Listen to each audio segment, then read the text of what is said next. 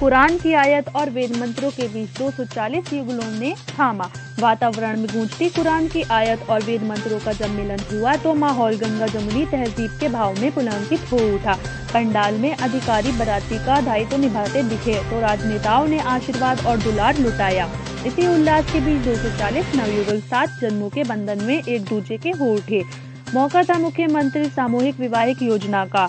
गुरुवार को श्री देवी मेला ग्राम में सुधार प्रदर्शनी के पंडाल में हुए आयोजन में विधायक राम नरेश अभिनेत्री ने नव विवाहिक दंपतियों को आशीर्वाद देने से पूर्व कहा कि गरीब बेटी की शादी करने के लिए दस बार सोचता था, लेकिन फिर देश सरकार ने गरीब कन्याओं की शादी करने का जिम्मा अपने कंधों पर लिया है।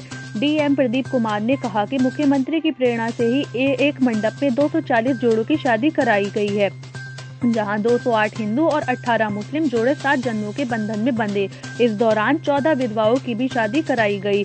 कार्यक्रम में भाजपा पालिका अध्यक्ष मनोरमा देवी और जिला अध्यक्ष आलोक गुप्ता ने वर वधुओं को आशीर्वाद दिया। अंगोथा प्रधान शांति देवी के प्रतिनिधि पप्पू यादव ने नव दंपतियों को उपहार भी भेंट किए। परियोजना निदेशक एस सी एस सी मिश्र उप निदेशक समाज कल्याण, अजय वीर सिंह, कुरावली नगर पंचायत अध्यक्ष संगीता वर्मा आदि उपस्थित रहे।